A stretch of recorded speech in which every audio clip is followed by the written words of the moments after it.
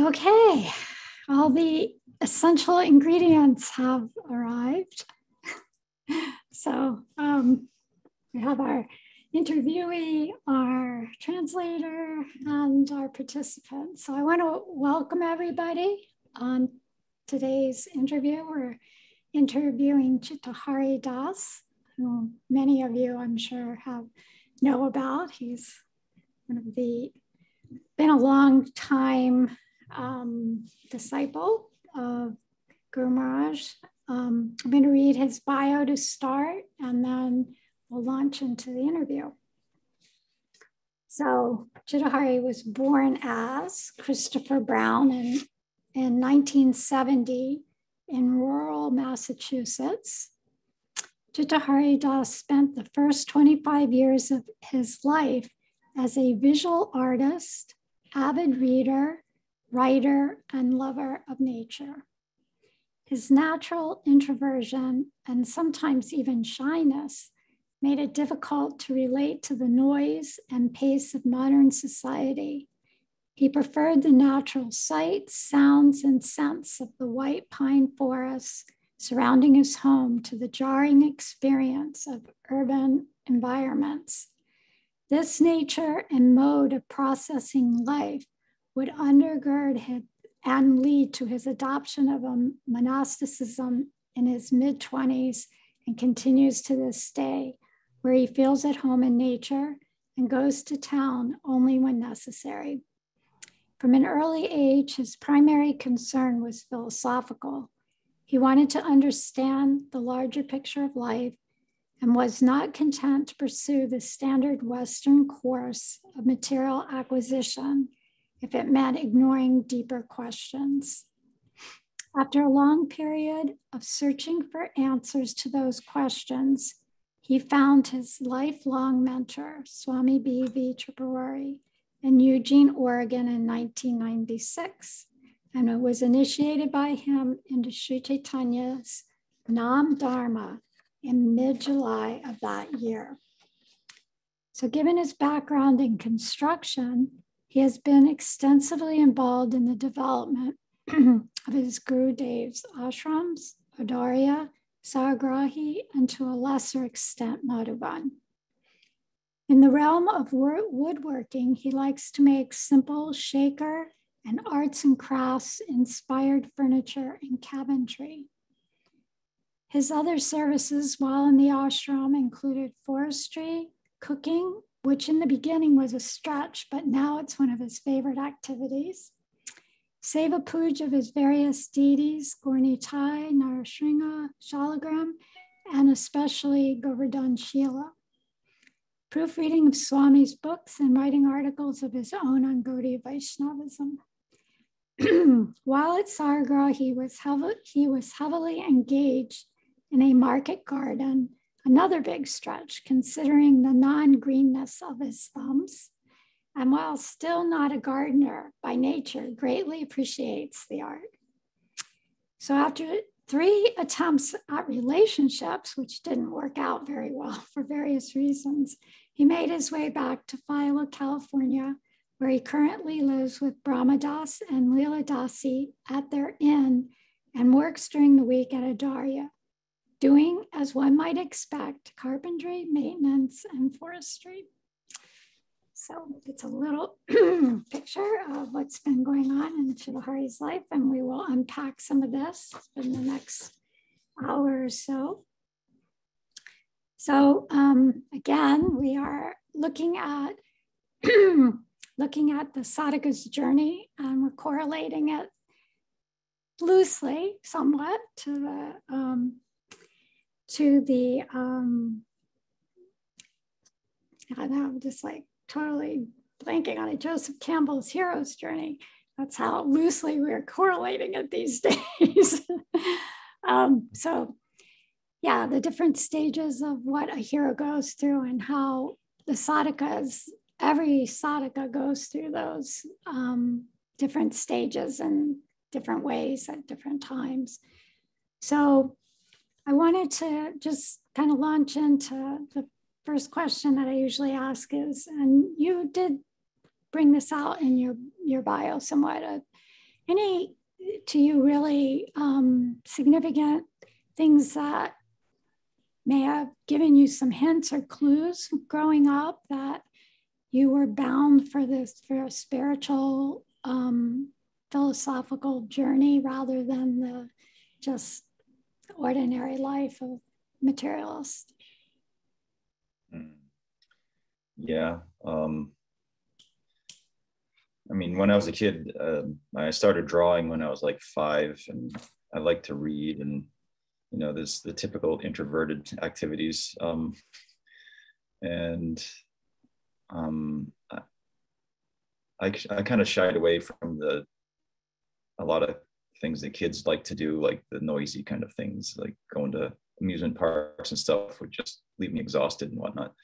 Um, and I, I, remember being able to, I liked as a young young boy to be able to sit with adults and, and take part in their conversations and was even able to do so and keep up with them in a lot of ways, which sometimes they would even comment like, how do you do that? Just the more adult themes of what attracted my mind rather than, you know, I'm sure I watched a lot of cartoons. I did all that kid stuff too.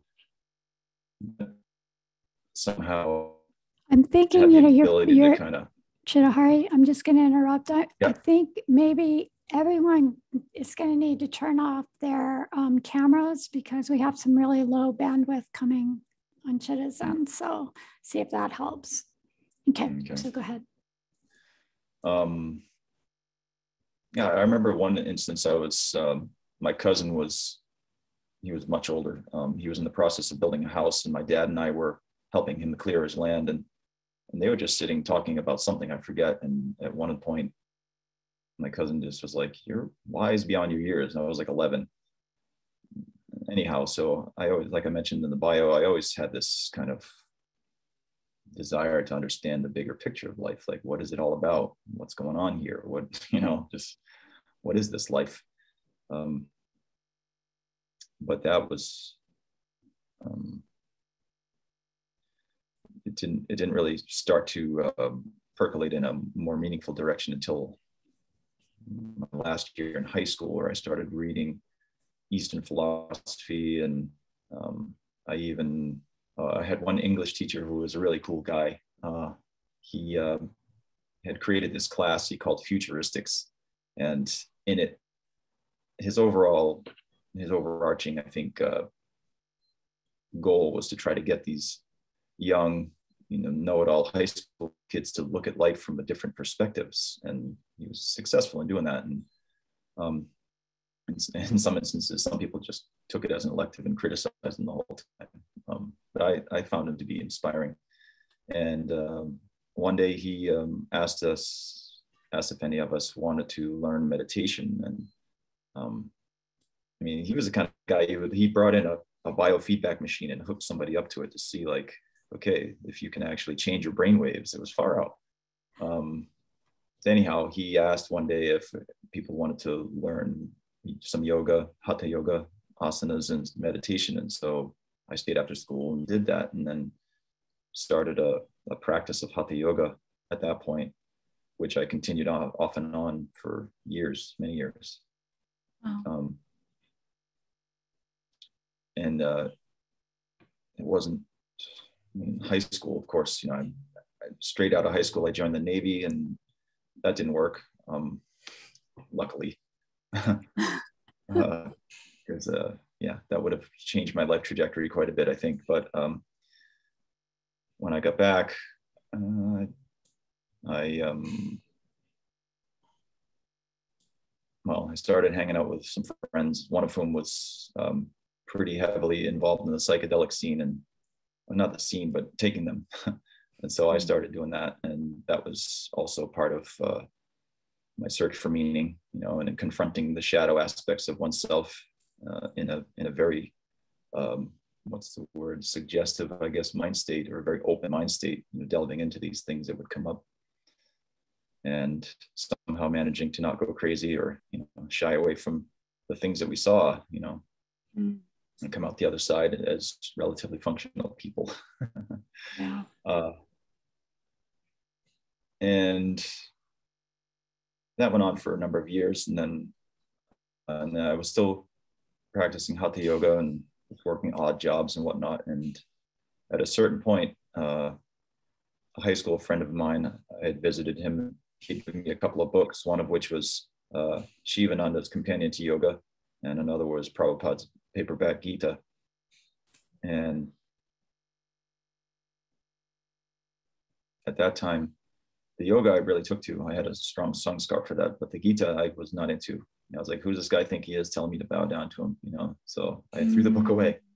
Wow. And and continued to practice, you know, the, the hatha yoga and whatnot. And and some years went by, and at a certain point in I probably around 93, I guess I was 23, 20, 22, 23. Um, I just had this very strong desire to just dedicate my life in service to humanity.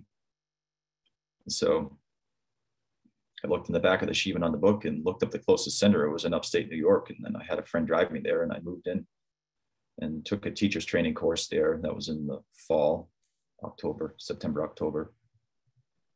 Stayed there for um, until midwinter. And then went home. And then the following, uh, maybe, I don't know, a year later or so, went on a road trip with some friends.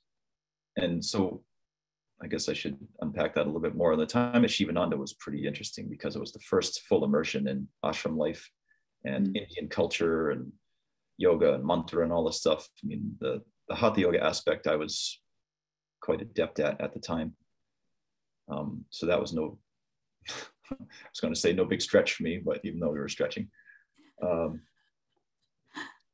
I did well in the teacher's training course and everything. But when it came to like, there were certain aspects of the of the, the, the more cultural aspects that didn't really, you know, I didn't really care too much about. But um, can you be more specific, Chitta, about what those were? That um, well, okay, I'll give an example of one night we uh, on Shivaratri we observed Shivaratri because in Shivananda that's like that's their Janmashtami, right? So, mm. um, so we stayed up all night and um, you know chanting Om Namah Shivaya and whatnot, and then the next morning you break the yeah, and you fast, and then you break the fast with a feast, and they had had one of their Indian congregants there cook the feast, and it was like this huge, you know, deep fried Indian feast. you know, so it was, it was really intense. Um, and just um, after a while, after a few months of being there, I just needed to. Uh, I, I, remember spent some time in New York City with uh, a couple of people who had been coming up to the. This is so they had a, and they still do, as far as I know, they have a, a center in Manhattan, Midtown, mm. and also the ashram in upstate New York. And so I was staying at the ashram, and then at a certain point, I needed to just take a break because it was just like the whole, all the cultural aspects and all the rules and all that. I was very much not used to any of that. So mm. um, it got a bit overwhelming. The culture shock kind of finally hit after a while, and I was like, mm. okay, stepped back from it. But then I, you know, I went back and, um, but after a while, it's like, um, so my orientation to the to spirituality at the time was very much Brahma Sayujya. Mm. Um, you know, all the philosophy that I had read, of course, was written from a neo-Advaitin perspective. Because um, in high school, the people that I was reading were like Ram Dass and Alan Watts, and some mm. Zen Buddhists like uh, Suzuki, Shunryu Suzuki, and so I was reading all these different you know Easterners and with but it was like you know trending toward Advaita Vedanta or Buddhism, and so that was still my orientation. And then uh, I found out about Bhakti, you know, as a as a standalone path. That was only much later. So at one point at Shivananda, well, I really liked working with mantra. Like, and I started chanting Om Namo Narayanaya. Um, regularly, mm. and um, even had an interesting experience at one point. So they they had a they have a morning and evening satsangs, and in temple. And first the the basic uh, flow of it is like you come in you sit down do a silent meditation for half an hour. And then after that there's uh, they do kirtan. And then after that there's some sort of discourse on whatever shastra they're talking from and during one of the meditations um, I was chanting this mantra and I had this flash of the Paramatma, Vishnu, you know, his arms were moving and had all the weapons and stuff. And I was, I came out of my meditation just kind of like, wow, okay, that was interesting. I did not expect that. Um, so did that change your trajectory at that no, time? Or? No, it wasn't that. No, what changed my trajectory was Krishna book. mm. um, so they had a little room in in the temple building complex where they had a library. And of course, me being the bookish kind of person that I am, I spent a lot of time there. And, uh, and as that and at that stage, I was still in the eclectic sampling kind of stage of spirituality where I was just reading different things and seeing how they hit me. And I had all these existential questions kind of percolating in my mind that I hadn't yet to find answers to. And uh, at one point, uh, way up on the shelf, there was this, you know, silver book with these big red letters, Krishna. And I was like, what is that?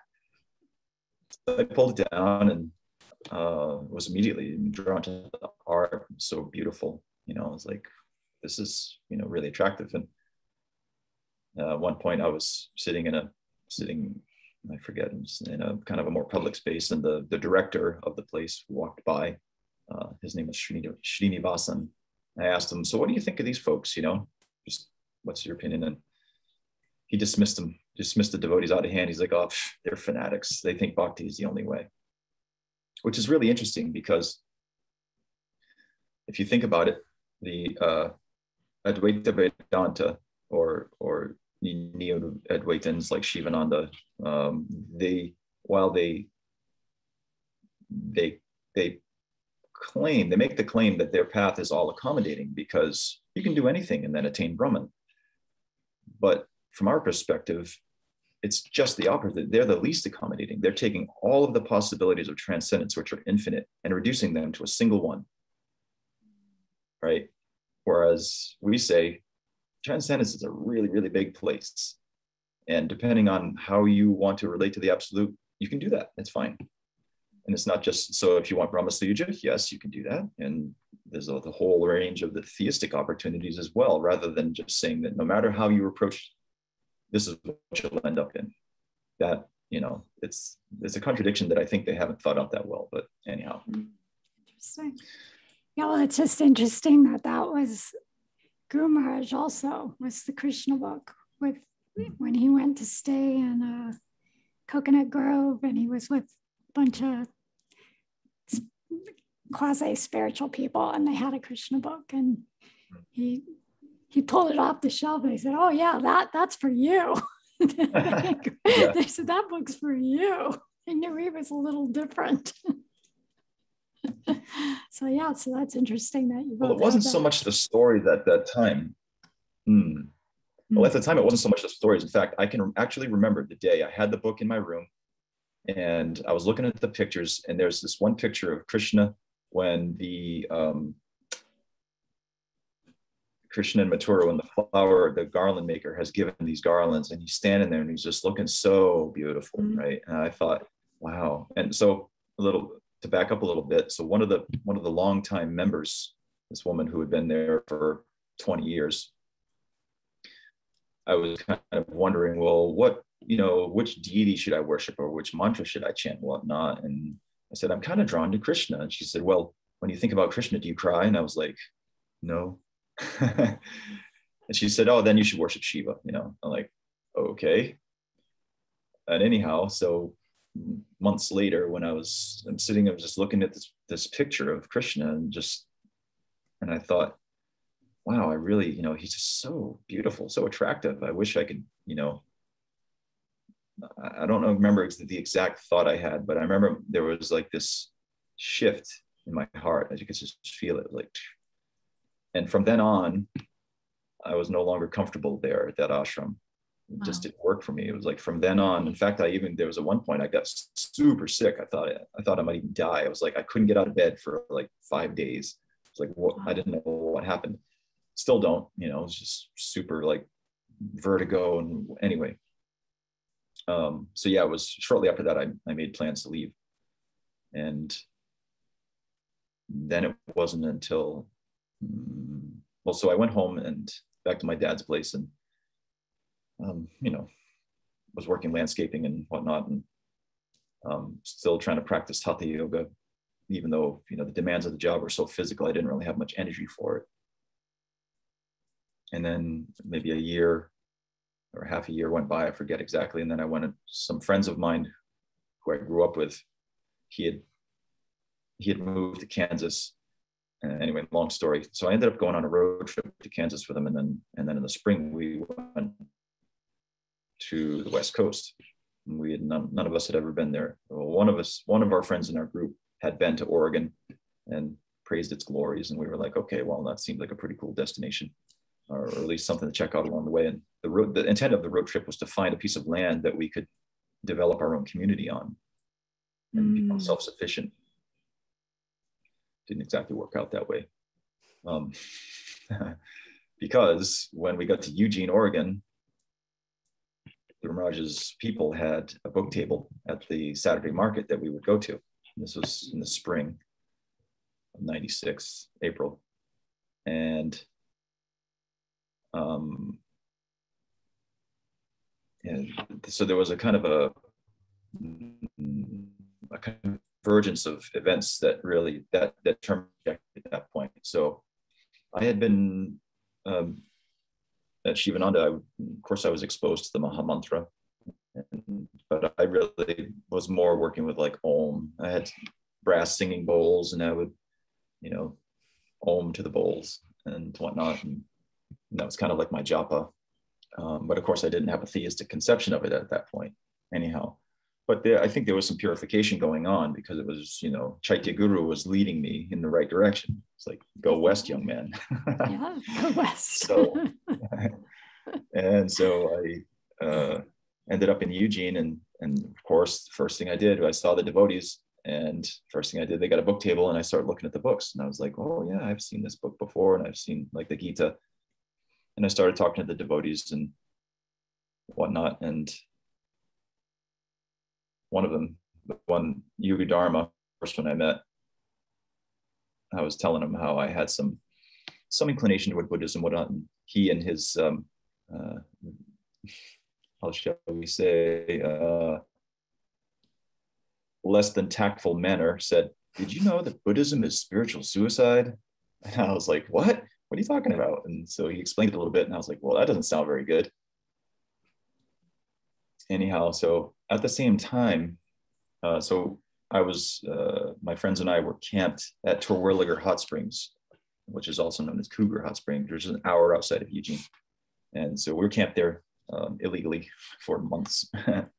um, and then we would go into town about once a week to get supplies and take showers and all that kind of thing, do laundry. So one day while doing laundry, um, this van of girls pulls up besides our beside ours and turns out they were from seattle. They had been all the way down to the baja and they were on their way back and they wanted to go out to the springs. And so we were like well we're camped there. One you can follow us down okay so we ended up becoming friendly with them. And so i was sitting in their dodge family wagon one day and they had a little crate of books. And so i was like pulled out their crate and looking through it and lo and behold there's prabhupada's paperback gita and so it was the same one you threw away some years same, ago. very same book. And and suddenly I was just like drawn to it, like like a you know a moth to a light, and mm. started flipping through it and reading it. And one by one, all these existential questions that have been kicking around in my mind for years, some of them and some of them more recent, but like one by one, Prabhupada was just like answering them, boom, boom. They're just hmm. falling like, you know, like wheat to the blade. It's like, wow, this is amazing and in my in my journey across the country i had been kind of wanting to find the mantra that i could surrender to and give myself to and completely And I didn't have full faith in the Maha Mantra yet, even though I had known about it. But then reading Prabhupada's Gita, because he hammered on that point again and again, the Maha Mantra. And finally, it was like, it clicked. Like, oh, yeah, that's it. It actually is the Maha Mantra. Wow, okay. So I started chanting the Maha Mantra.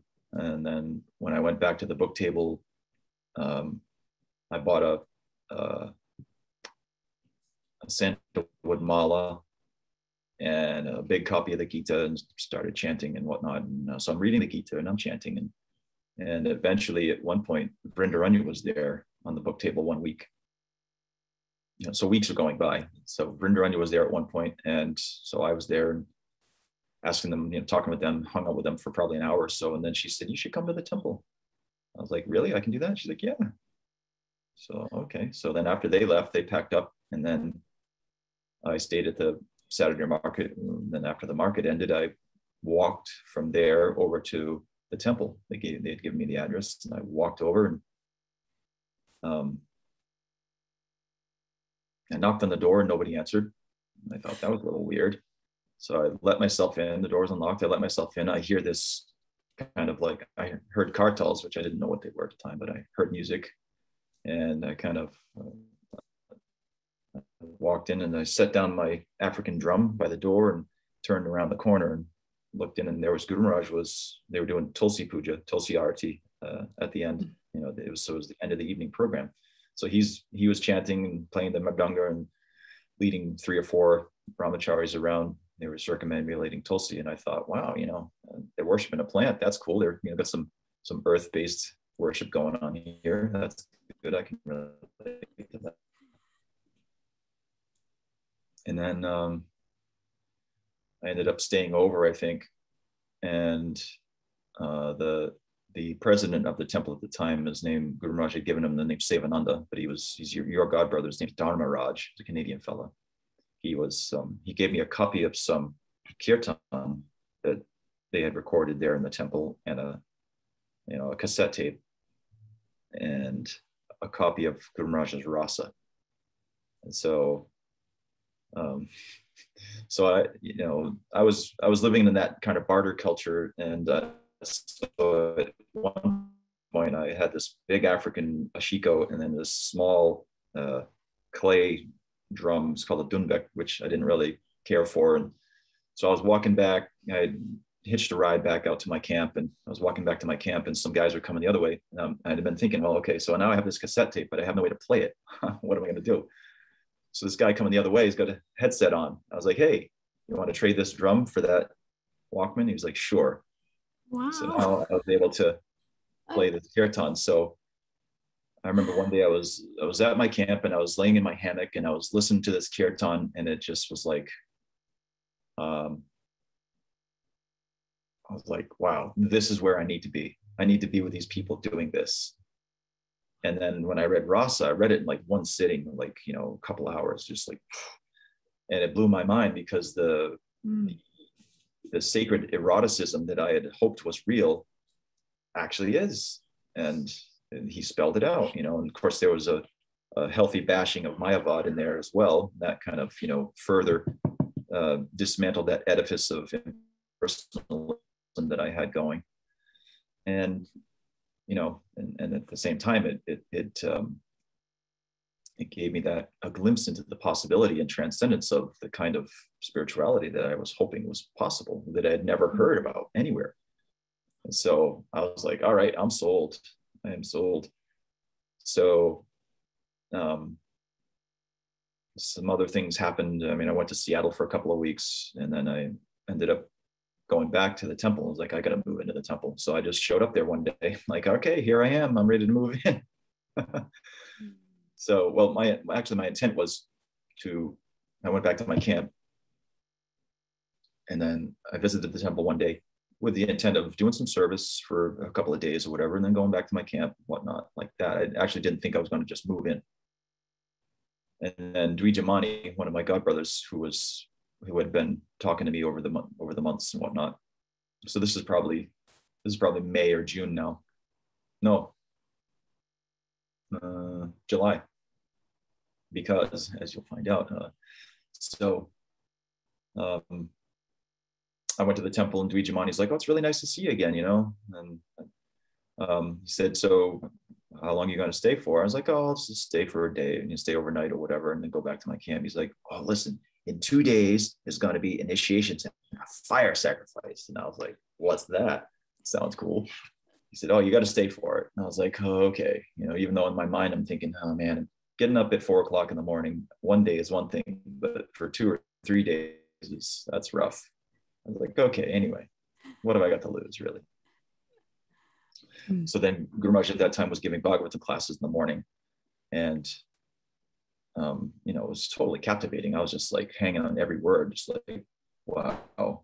And I remember at one point when I, I think maybe when I first met him, yeah, when I walked into the temple, I heard, I heard something in his voice and I thought, I don't know what this man has, but I want it, you know, mm. just like that, that it was so compelling.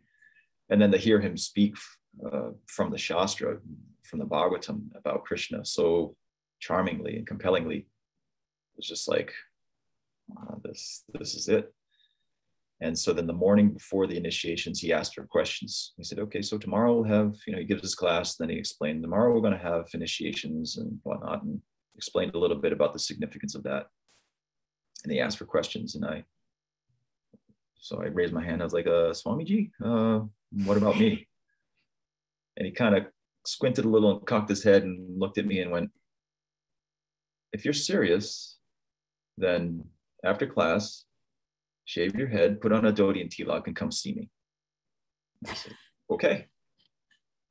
So Chandrodaya, one of the one of the guys living in the temple at the time, took me downstairs after class, got me shaved up and tilaked and dhotied, and Guru Maharaj was sitting in his rocking chair out on the lawn which he do in the summers. And I went out and talked a little bit, and then he dismissed me without whether he was going to do it or not, whether I was going to be actually, you know, initiated.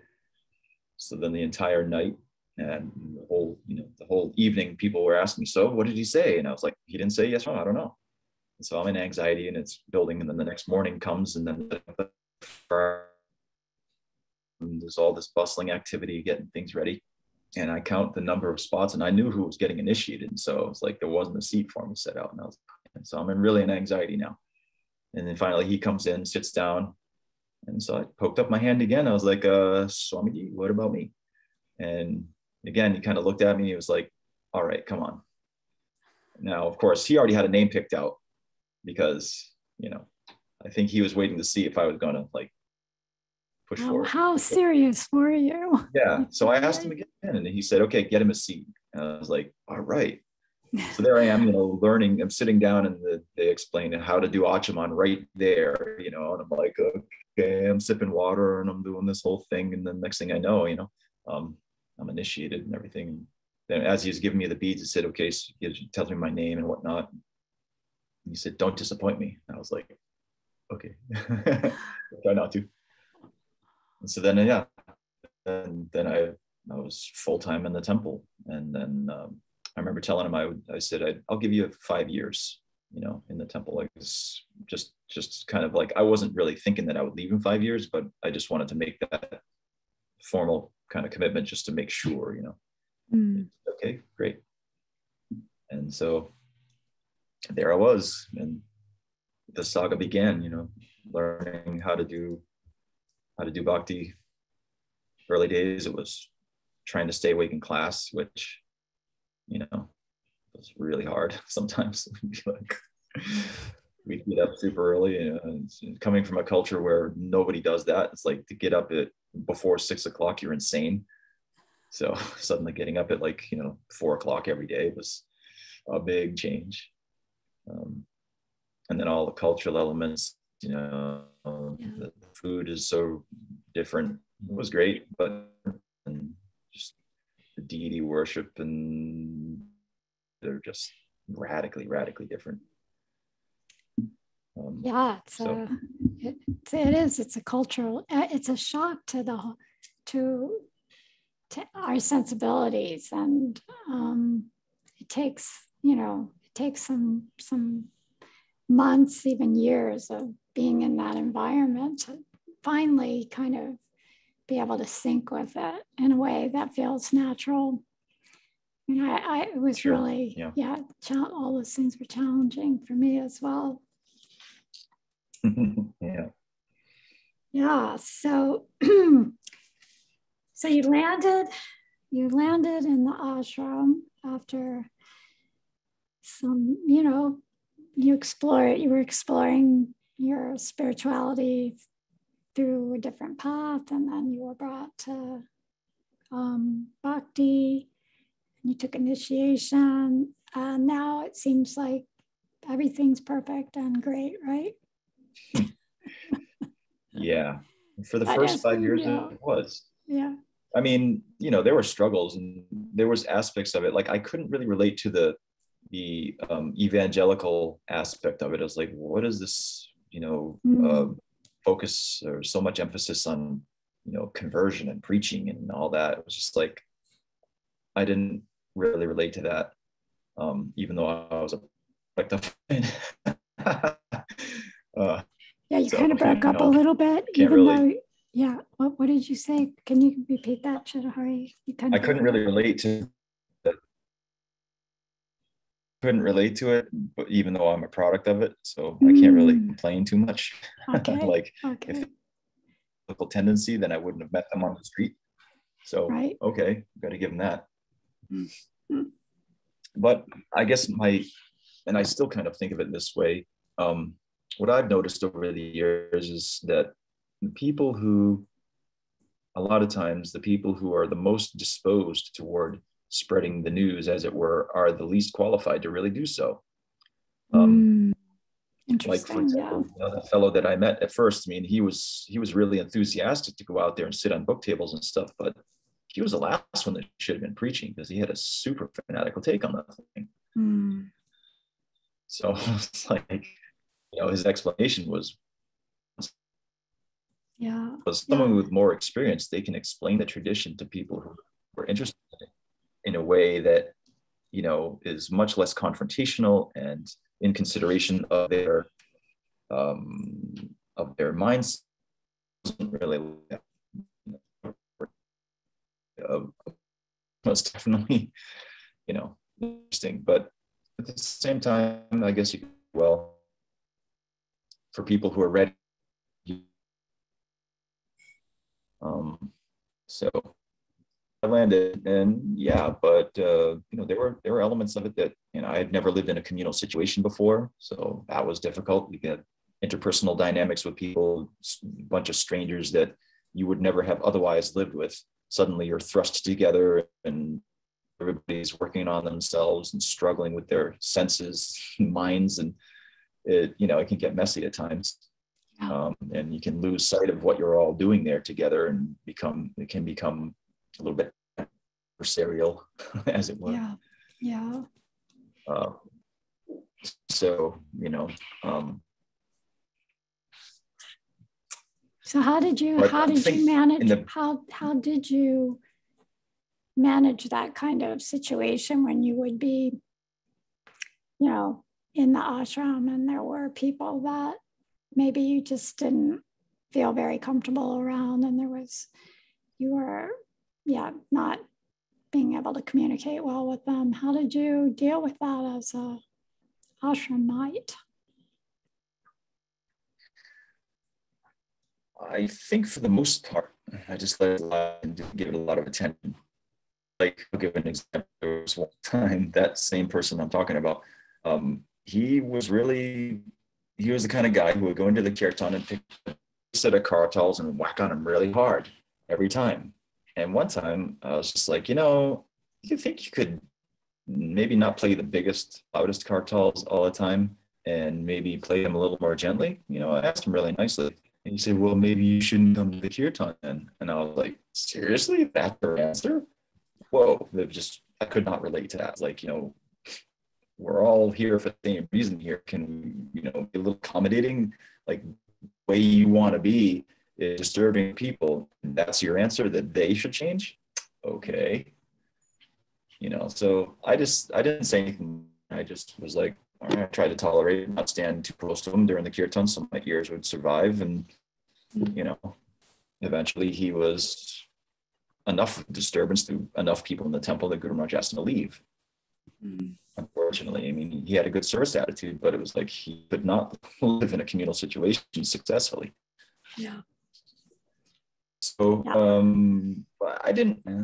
I was pretty, by nature, I'm just um, able to more or less get along with most people, and so I didn't have a lot of interpersonal conflict that I had to navigate. It was more. It was more just uh, struggling with myself and with the sadhana and whatnot. Mm.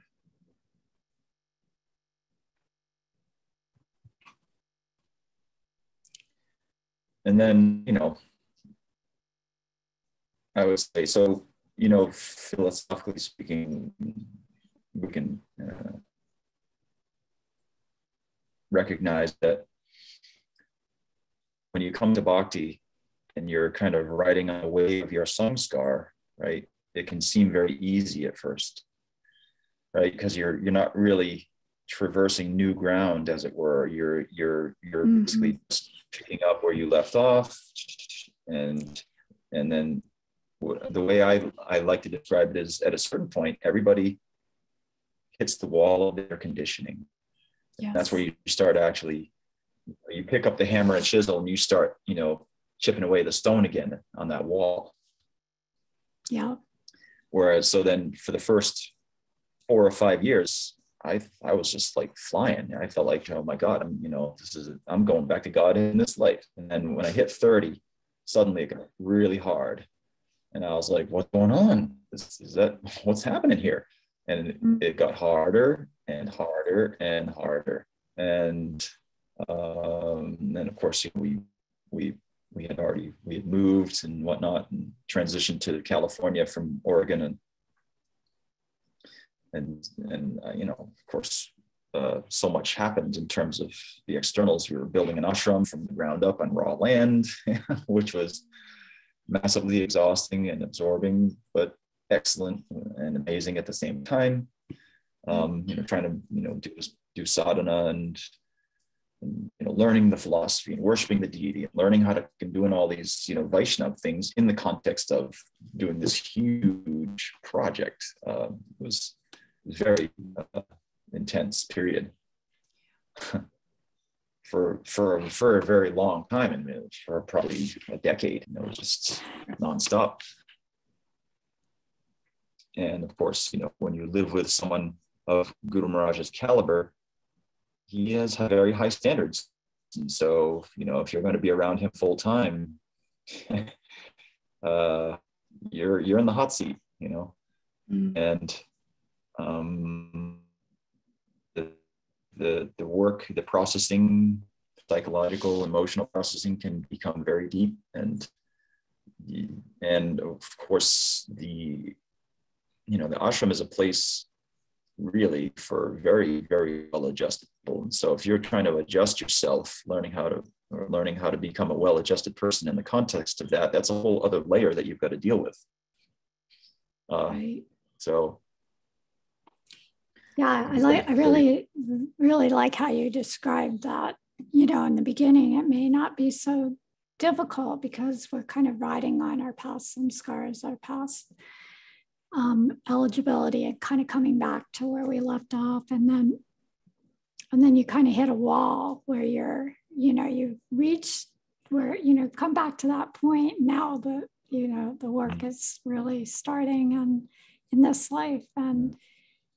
Yeah so for you it was about five years in that you were started to really feel that you were breaking new ground or you know trying to go through granite or some kind of really hard yeah. rock and um, yeah yeah and there you were in a in a uh, like you said raw land and a new project that I, I can't even imagine you know and there was just a small group of you that were trying to make it all happen mm-hmm. and so yeah a lot yeah. of a lot of um, a lot of opportunity for growth, but a lot of opportunity also to get discouraged or feel, um, yeah, it's like it was too much at times, I'm sure. Sure. Yeah, I mean, the, there was one, one. I mean, there's a couple of instances that stand out to me that really kind of illustrate what can happen in that situation. And there was, I'll describe one. Um, there was a festival coming up. I forget which one. Um, it was a dry season, so it wasn't winter. It was probably springtime. I don't, I don't know what. And there was some um, some devotees were visiting from Germany and whatnot, and um, and I forget exactly what was going on. Yeah, but anyhow, um, so the bathhouse for some reason I had had one of the whole I had had to dismantle the entire sink cabinet and rebuild it before this festival. That was a sizable project. It was like going to take a number of days, and and as is often the case, um, there, there's a football coach named Vince Lombardi who said something that I think is a really good quote. He said, "Fatigue makes cowards of us all." Mm-hmm. And so, now he was talking about that in, in context of football, but it's true mm-hmm. of life. Fatigue makes cowards of us all. In other words, when you're really tired, right? I mean, when you're exhausted, just don't have the strength to deal. Have, you don't have, yeah, can't deal with stress very well. You can't deal with life very well. Right. Yes. Yeah. So one of the things that I've noticed in ashram life, and is that there would be periods where you kind of get this perfect storm of of circumstances that kind of come together and coalesce to just crush you. mm. um, and I don't remember all the you know the different threads, but it's just like you get these amazing time pressures. Like this needs to get done, and this needs to get done, and they all need to get done at the same time. And you're already tired. It's just like your mind goes, "Fuck, I can't deal." You know, it's not. You start to go on tilt a little bit, and but despite all that, you know, you soldier on because that's what you do in the ashram, right? And some people, the well, the ones who couldn't, they they were the ones who were leaving notes on the pillow and stuff. But um, I, that wasn't my style. I just I would I would internalize it and I would get angry, and that would that could come out. You know, sometimes I could get pretty ornery, and um, you know, confrontational and just be like, um, that was my stress coming out. That's how it manifested. And I didn't have the emotional tools at that time to deal with them in a more mature fashion. Um, but in this one occasion, so I'm, you know, deep into this project and it's just like I'm it's only a couple of days before there's going to be a bunch of people coming that need to use this bathroom on a daily basis. And so I had to have this thing back together. There was a hard, hard deadline. And so I'm working on this thing all day, every day, trying to get it back together. And at the same time, there, there was this wooden cabinet that Guru Maharaj had bought to keep the, the songbooks and whatnot in, in the temple room, which was, this is way before the temple was built. This is, the temple room was still in the bottom floor of what is now his house. And so at one point he had asked me to stain this this cabinet, which I did reluctantly because I was so busy. I didn't want to take time out from it, right? And I, I even told him I was like, you know, I don't really have time for anything right now. I need to really focus on this, so it'll be done before the guests get here. Anyway, so either either I stained it or someone else stained it. I forget, but in any case, he didn't like the color of it. And then he approached me to sand this cabinet, which would have taken a number of hours, which I literally did not have. And I just could not relate. I was like, why are you asking me to do this? You know, just leave the goddamn cabinet as it is. You know, I mean, I just couldn't see. I was like, I'm doing something that is really, really important here, and I can't take time to do that. How is that not coming across? You know, and so that that was a super frustrating event for me. It was just like, uh, how you know how does this make any sense it just doesn't um, but you know i weathered it and stayed and but there could be you know things things like that um, and then um, probably the the other hardest period or single hardest. Can I can I interrupt right now because I think this is really I mean it's a I think a really important question that I would have is how since you've you know lived with Guru Maharaj for off and on for many many years and knowing what you know now about him and knowing about more about yourself if you could relive that moment in time mm-hmm. would you do how would, how would you have dealt how would you would you deal with it differently first of all and if so how would you deal with it now as opposed to how you dealt with it then well now i wouldn't get angry like i used to you know i would i would and i think i would have the the where wherewithal now to say, you know, Guru Maharaj, I'm feeling really stressed about this. And if you want me to do this other thing, it very well might mean that I will not have this other very important thing done by the time the guests get here. I'll do it if you want me to, but understand that there will be consequences on the other end. So take your choice, you know. Um, I would present it like that now instead of getting ornery like I did in those days. Mm. Um, Excellent yeah no i think that's really important to showcase yeah with maturity how we see that actually yeah they're you know they're yeah no it's just thank you for sharing that. So i didn't so go ahead i didn't mean to lose help. Oh it's okay uh, the other the other time that i can remember was really really really difficult was um, at one point I was the it was a winter and winters at Audarya. If you've never lived there, they can be pretty austere because it's just pouring rain. You know, living in a yurt in the pouring rain in the winter at Audarya is not an easy thing. And there was there was a ton to do. We had, I think we had three cows. We had Dharma and Bhumi and Nandini at the time. This was before the dairy. Um, we had cows to take care of. We had you know stuff to do, and um, and Vrindaranya decided, so she and I were the only ones there, Guru Maharaj and Vrindaranya and myself. And then she decided to spend the winter in Palo Alto at her mom's place. And um, I think she was doing a editing course, a copy editing course through the university there. So suddenly I was the only one, Guru Maharaj and me for a whole winter. And it was just absolutely brutal. Just the amount of like I would make lists and I would forget to look at the lists because I just had stuff to do every day. And like I was, Guru Maharaj would, was be, would be getting annoyed with me because I was forgetting to do things or, um, you know, just so many details to manage. I would inevitably drop some of them. I just couldn't, you know, I just did not have the processing power to, to keep all that stuff straight sometimes. And um, that was very, very difficult winter but somehow managed to stay, you know, not go crazy at the same time. And I think um,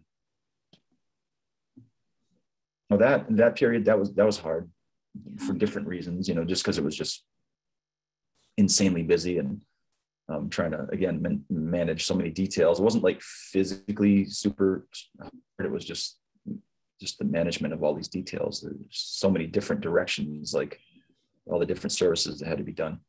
Mm and then um, but there was another period where, which was there was a there was a fellow there from England who they were trying to they were trying to uh, because it looked like the mission was expanding and people were coming and they were trying to bring more of a structure to the ashram. And so Vrindaranya was a temple president. This fellow was made the temple commander. And suddenly I was under him, even though I was senior to him by a number of years. And so he didn't, uh, let's just say he wasn't the, he, liked, I think he liked having somebody to tell what to do. it kind of took a little bit of relevance. And um, he was a good man in a lot of ways, but you know, this period I was struggling for a number of my own internal reasons, and then this external circumstance. I mean, um, at that period, uh, Vrindaranya had instituted these, these really strong um, like schedules to the point where your day was written out for you and like down to the the 15 minute block. It was kind of like felt extremely oppressive in terms of any kind of autonomy one would have. At least that's how I perceived it at the time. And I understand, you know, what the what the goal of it was was to, you know, not be wasting time. But when it's coming from someone else, that can feel very, very oppressive. So it was during one of those during this period, and then um, Temple. This is still built, and so the festival program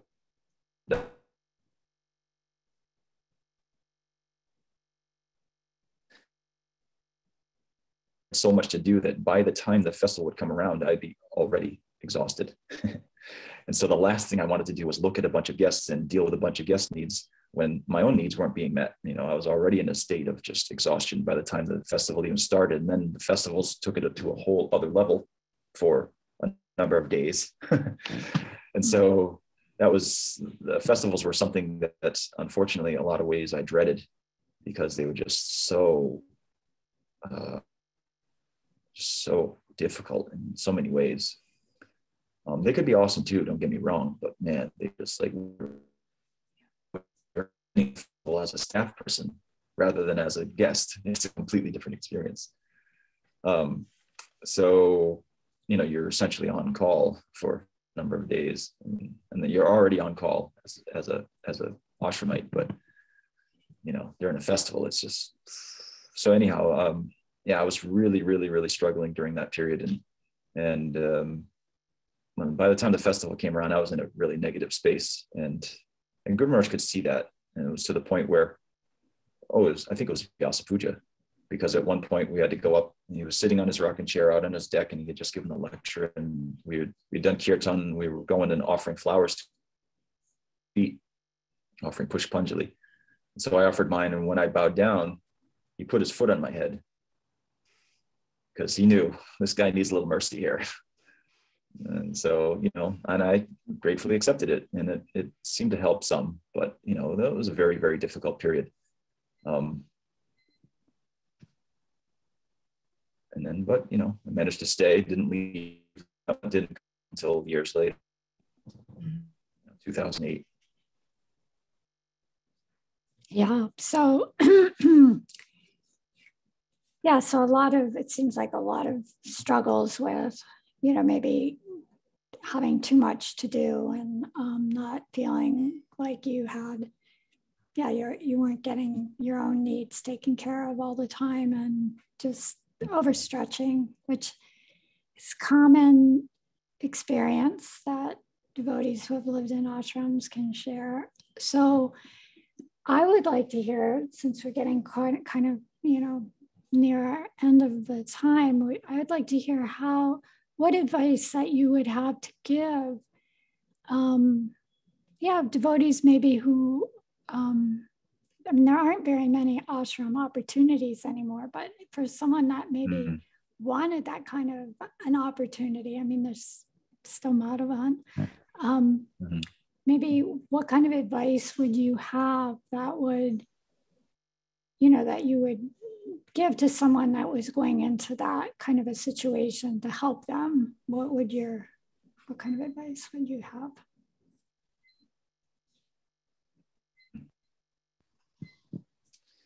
Um, I would say, well, first thing you've got to know really well and what your where your limits are, and that's difficult because you often don't know where your limits are until you try, until you're pushed.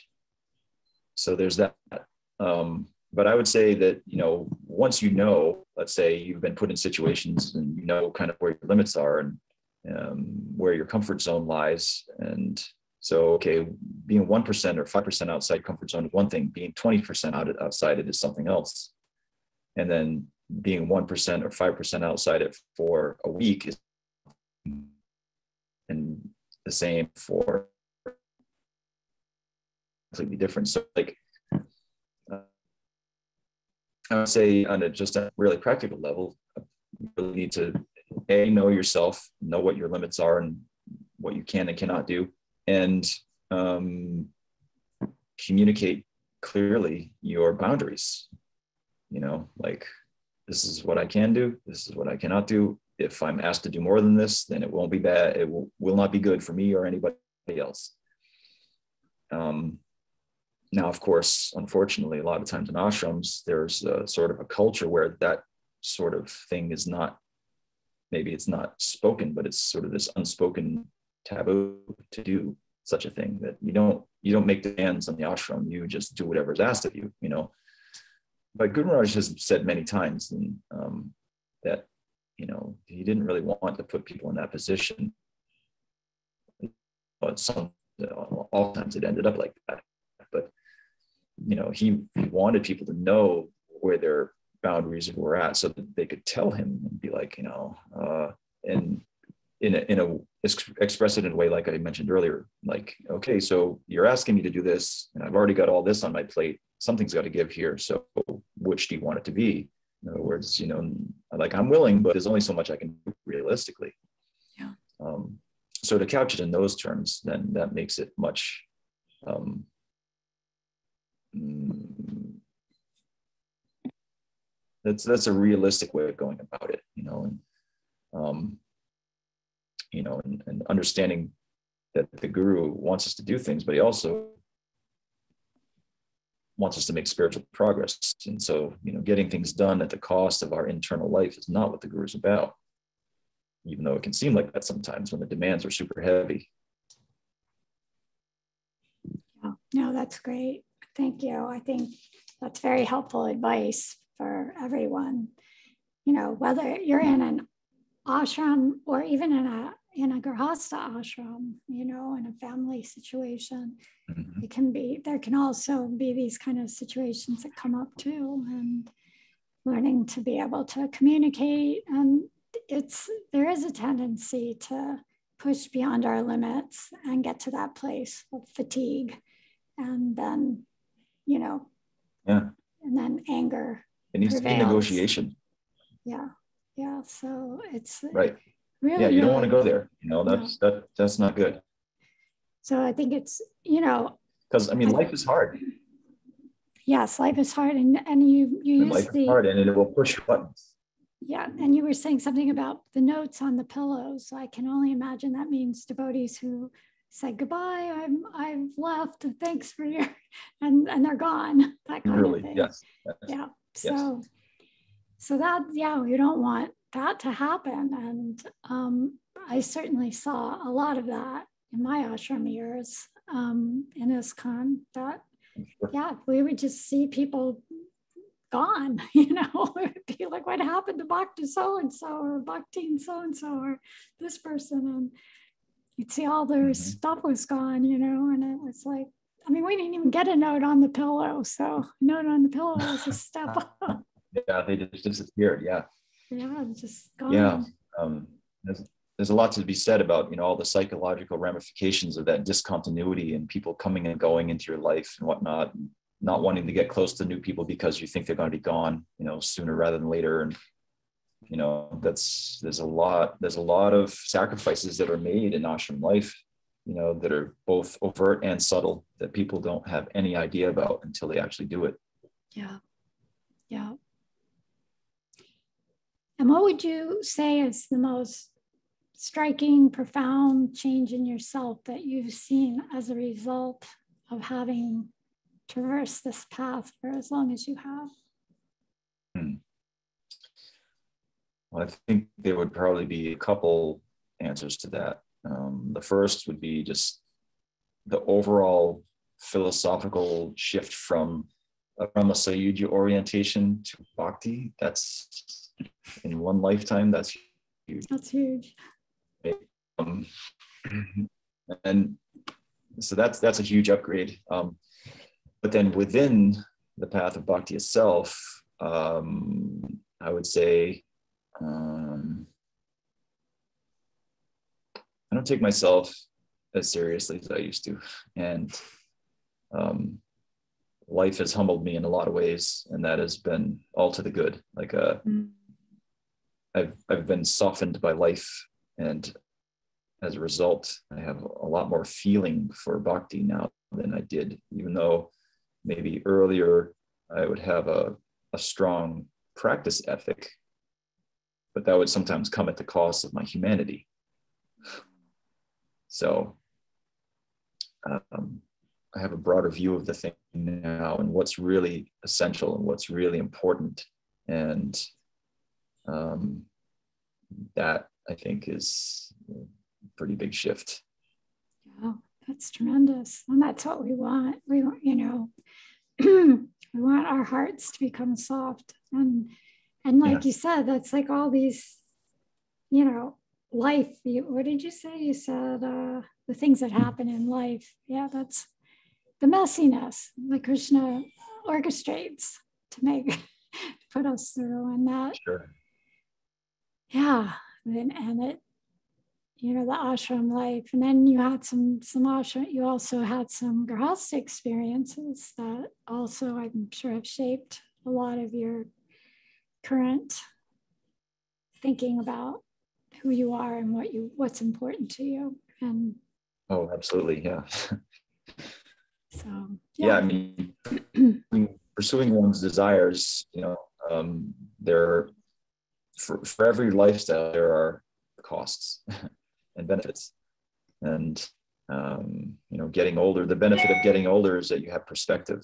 You can reflect back and look at how situations before and and think about them differently and think about how you really want to live your life. Um, you know, how do you really want to spend your time? How do I want my days to be structured? You know, it's like each day could be my last. How am I going to spend this day? Mm. Um, I meditate on death a lot because it's not that far away for any of us, really, when you look at it philosophically. So that being the case, then all right, um, it really is in my interest too. Um, and I'm not saying I don't have my distractions, I still do, but um, they're becoming less and less by the power of bhakti. Nice. You know, start to see it, it's real. You know, more and more.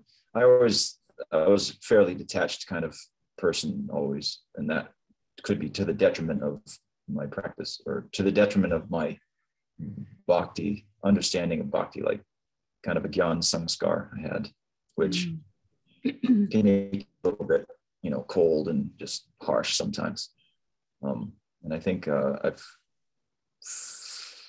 I think by the grace of Bhakti Devi and devotees and Harinam, uh, that's uh, not so much a thing anymore for me. Wow.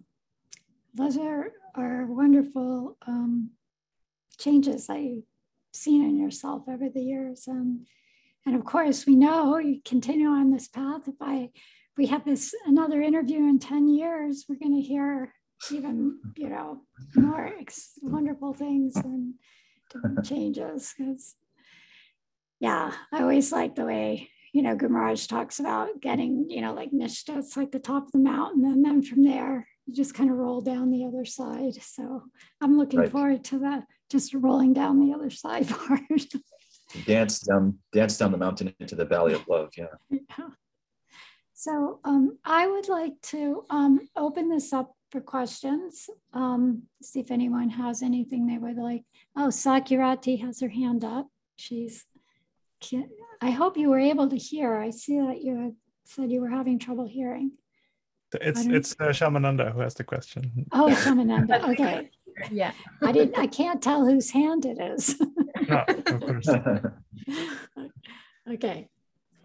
Uh, yes, I, I, wanted to ask you, Citta Hari, uh, about um, like uh, people have asked you before, but I can't find the text anywhere. But about the um, the story of finding the the, the Govardhan Shilas that, that are at Madhuvan. Oh, okay. Um, so 1998, I was with Guru Maharaj in Vrindavan and Vrindavan.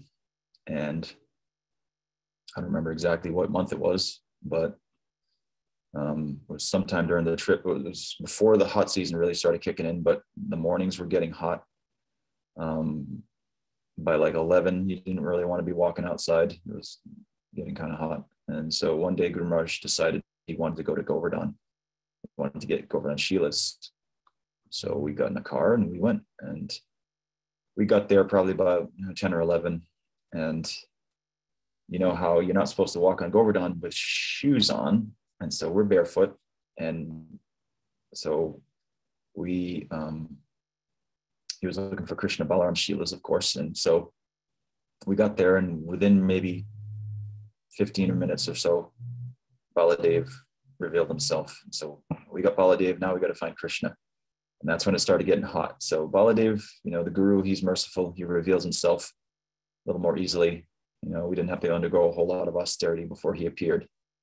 And then Krishna waited a while to reveal himself, and it started getting hot, and the sand was burning our feet and whatnot. And finally, you know, Krishna was like, "Okay, here I am." And so then we took them back to the house that we were renting in Vrindavan, and uh, Maharaj said, "Okay, so these these they've been baking up for five thousand years. Give them a bath, clean them up, and then get them set up on the altar." And I said, "So do we need to install them?" He said, no, this is Govardhan Shila, no need for that. They're they're direct manifestations of Krishna. It's like, okay. So Vrindaranya bathed Baladev, I bathed Krishna. And then um, and then uh, I think I, I painted them.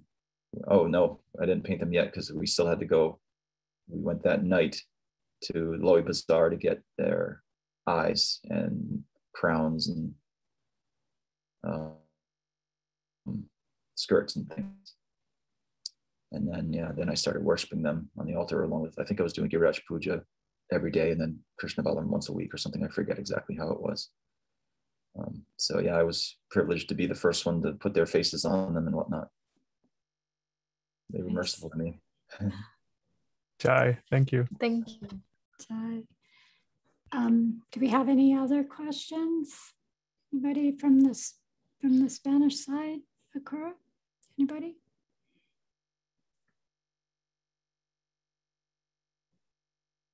Okay. Anybody else?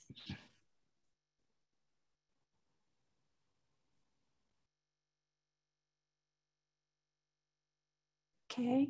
Anything, any last words, uh, concluding words, Citta, that you might want to um, leave us with, or you feel like you've covered what um, you wanted to say? yeah, um, one of I think well, one of your questions was, um, what do you think? What what insights would you share from what you've learned? I guess uh, something like to that effect. I would say. Um,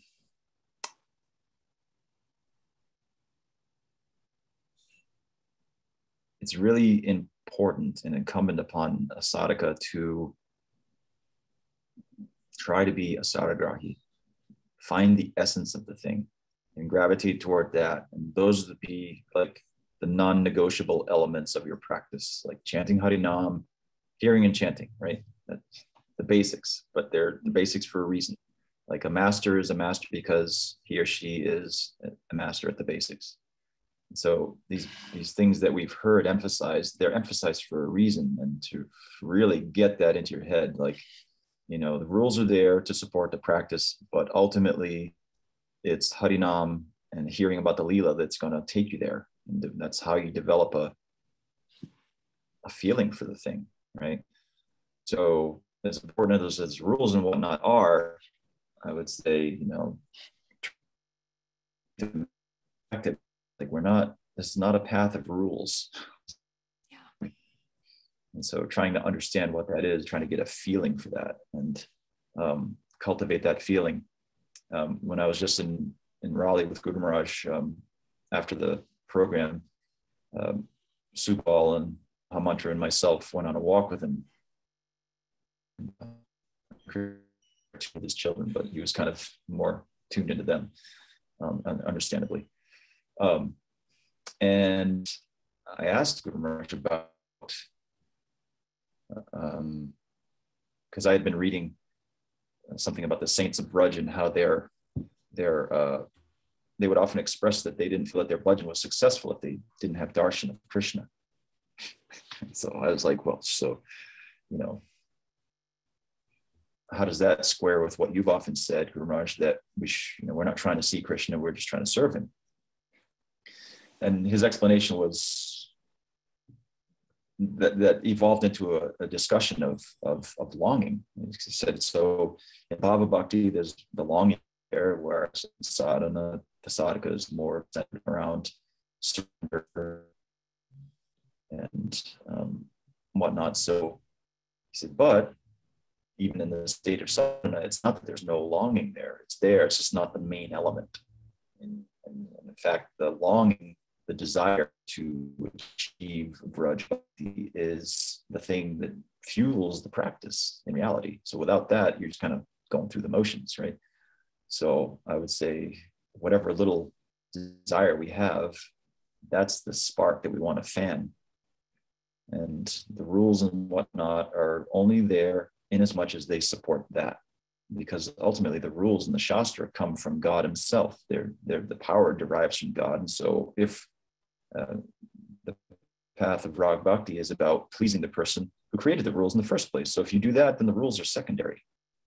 So um, I'm not by any means obviously advocating that we don't follow the rules, but just remembering what they're for. And it's really it's it's a heart. It's a we come to this because we want love. That's what we come here for. And so as Bhakti Vinod says, we should by hook or by crook, beg, borrow, or steal, taste for the name somehow. Mm. And so some feeling for Krishna, some feeling for the moods uh, that the Brajavasis have for him. Nice. That's that's my advice. That's great. Yeah, thank you. And um, really appreciate it. I just there were a couple comments I want to share in the um, that we re really appreciate the interview. That's from Sakirati and Shamananda. And Omkar, many, many wise words, salutation. and then there's um comment Akar from uh, Annapurna. You want to read that? I don't know if it's a question.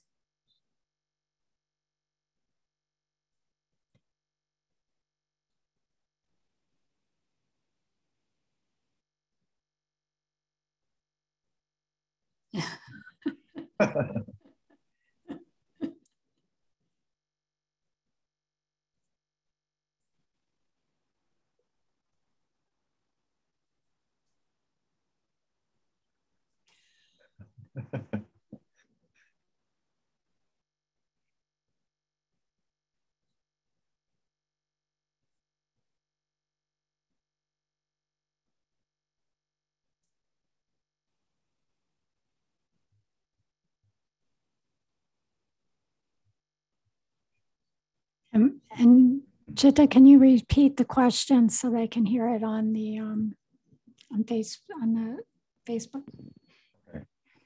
Have I, in the course of talking to Mayavadis, been able to perhaps persuade them or give them doubts about their own path? Um, no, not really. I haven't had much association with um, people who are interested in that. Once I've got involved with devotees, I pretty much keep to my, keep to my devotional company as much as possible. And um, I haven't really met any people who are following that path. So I had an opportunity to um, speak to them about bhakti. Nice. Okay, I guess that looks like we're pretty much out of time and um, want to thank you so much, Citta Hari, for coming at the last minute. Um, we had a had some mix up with um, Gopal Nandini's interview. She will be doing it in December instead. And next week, um, Govinda Dasi will be um, doing her interview, and Akura will be doing the translation. And um, so it'll be it won't be simultaneous, it'll be um, back and forth. Um, so we'll try to pin the three of us on the, um, the screen so we can do something a little different. We did do it with our, with um, Vaishnav Maharaj in the beginning. We, uh, we, we did that um, where we did just back and forth translating. So I want to thank everybody for joining us. Um, And um, yeah, one happy Kartik to everybody and lots of sweetness of from Radharani coming to all of you because this is her month and we she's very merciful to us. And next month, Citta Hari will be giving some classes on Radharani so we can this the special qualities of Radharani. So we can all look forward to that as well. Hmm. Jai, Hare Krishna, dear devotees, Haribo. Hey. Haribo.